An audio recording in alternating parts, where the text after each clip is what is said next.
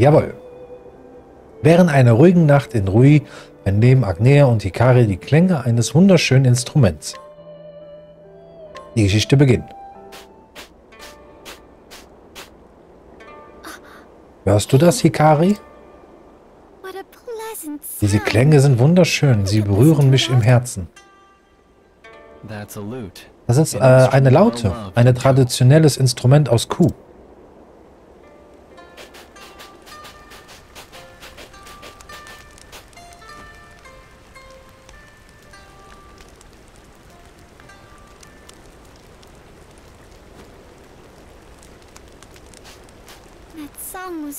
Herrliche Melodie. Sie hat mich an meine Heimat erinnert. Auch heute sorge ich anscheinend wieder für Gesprächsstoff. Man nennt mich Homi, die Meisterin in der tausend Töne. Oh, wie schön. Auf meinen Reisen um die Welt habe ich viele, viele Stücke gelernt. Für jeden Anlass, jeden Ort und jede Person habe ich die passende Weise. Hast du meine Neugier geweckt? Könntest du noch ein Stück spielen? Gerne, aber ich bin nicht umsonst die Meisterin der tausend Töne. Ich muss euch schon um einen kleinen Obolus bitten. Hikari, hast du etwas Geld dabei? Hm. Immer wird der Mann zur Kasse gebeten. So beginnt Agnea und Hikari Akt 1. Mit Yomi sprechen. Ich spiele euch gerne etwas vor, aber alles in der Welt hat seinen Preis. Ja gut, wir, zahlen, wir bezahlen dich ja. Oh, mir juckt die Nase, tut mir leid. Ausnahmsweise. Ich habe eine Bitte. Äh, eine Lautspielerin, die beim Wüstel, Wüstenvolk als Meisterin der tausend Tönen große Beliebtheit genießt. Sie kennt zahllose Lieder und wird für ihre Bewegungen auf die Bühne und das Publikum zugeschnittene Auftritte bewundert.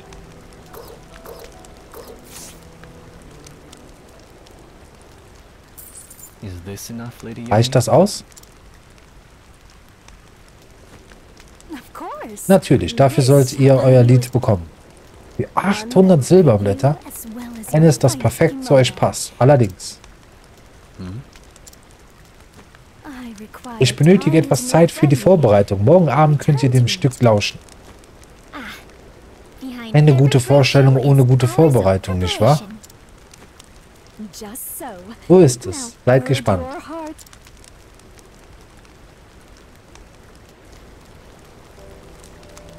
Bis zur nächsten Nacht warten. Mal und zweimal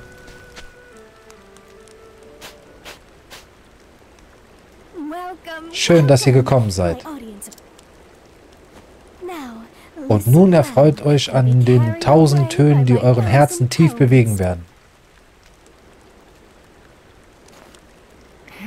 Nanu, Yomi sieht irgendwie ganz anders aus als gestern. Ja, es scheint, als hätte sie unsere Vorauszahlung bereits in diesen feinen Gewänder investiert. Gerne hätte ich euch mit den Worten von gerade begrüßt, doch ich muss euch leider enttäuschen. Es gibt da nämlich ein kleines Problem. Und zwar, seht selbst, die Seiten müssen neu äh, bespannt werden. Also kannst du wieder nicht für uns spielen? Auf einer Laute in diesem Zustand zu spielen wäre alles, würde man mit einem zerbrochenen Schwert in den Kampf ziehen. Das geht natürlich wirklich nicht. Die Seiten einer Laute sind mit rosa Haar bespannt, richtig?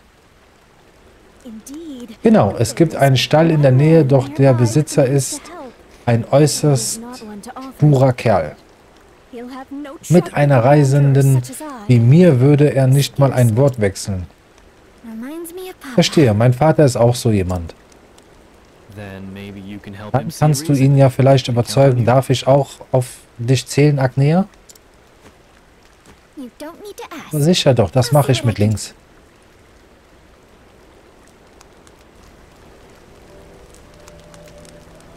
Jemand ein rosa Haar abschwatzen. Na gut, machen wir.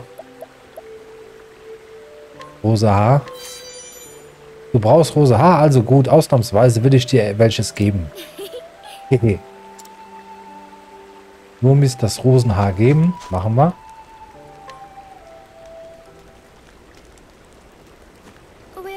Yomi, wie, wie ist das hier? Oh, Welch edles rosa Haar. Du hast anscheinend ebenfalls ein Talent dafür, die Herzen der Menschen zu bewegen. Hehe, meinst du?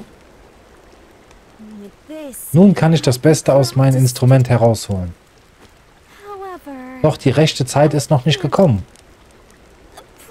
Komm morgen wieder, damit ich euren Herzen mit meiner Musik erfüllen kann.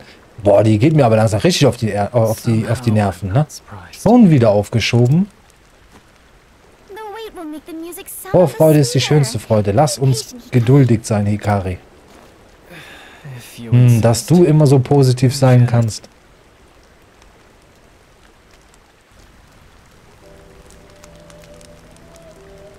Zu einem Hügel mit Mondblick begeben. Machen wir das mal.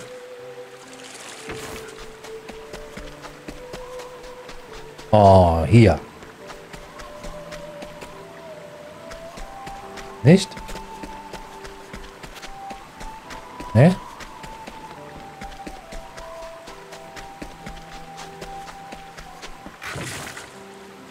Noch weiter? Nö. Andere Seite vielleicht?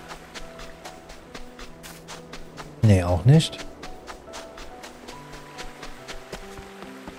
Aber das ist doch ein Mondblick. Oder muss ich hier irgendwas Besonderes machen?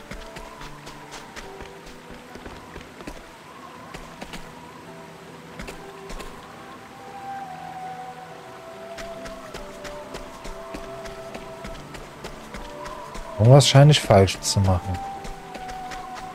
Gleich mit ihr nochmal reden? Ach so.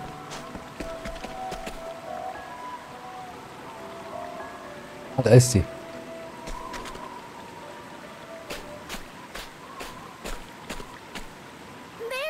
Ah, gefunden.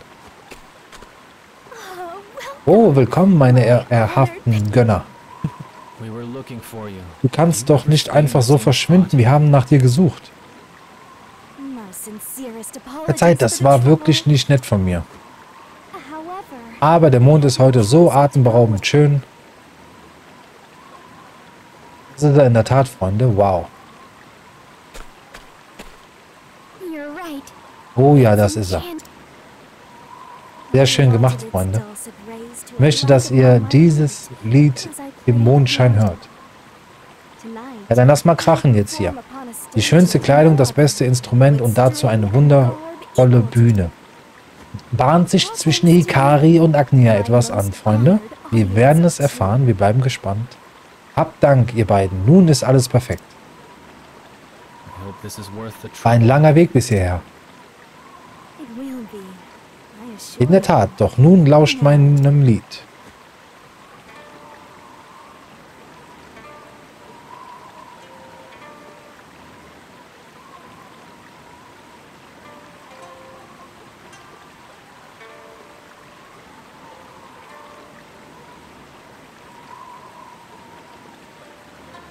Wenn die Nacht sich senkt.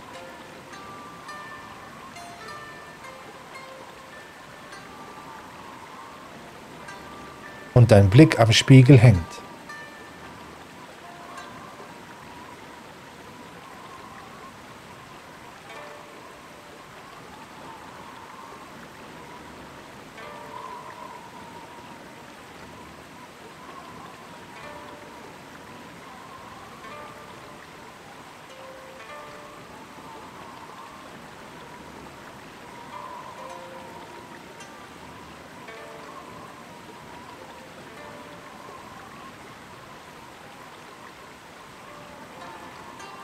Reinen Herzen den Weg erhält.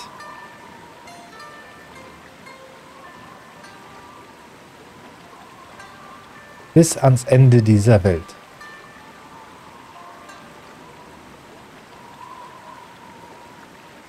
Schönes Pärchen übrigens, finde ich. Die werden wirklich ein gutes Paar abgeben. Die Kari, der große Krieger. Und sie, die eifere äh, Tänzerin. Würde gut zusammenpassen, wie ich finde. Einfach bezaubernd. Dieses Lied habe ich zum ersten Mal gehört. Ich fühle mich so ergriffen. Doch zugleich überkommt mich auch Trauer. Licht des Herzens hat eine ganz besondere Bedeutung für mich. Man muss es im. Mondschein in festlicher Kleidung auf der Laute spielen. So gebietet es die Tradition. Yomi, warum hast du dieses Lied für uns ausgesucht? Ich habe dieses Lied schon einmal gehört. Eins hatte ich eine gute Freundin, die oft auf der Laute spielte. Die hieß Tsuki und ihre. Musik spiegelte sich die Reinheit ihres Herzens wider. Einst? Doch als du es gespielt hast, klang es anders.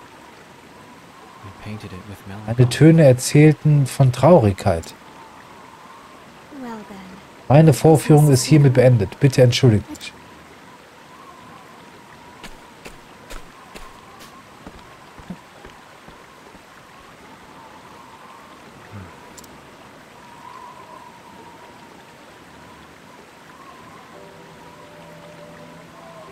So endet Agnea Hikari und die Wegkreuzung.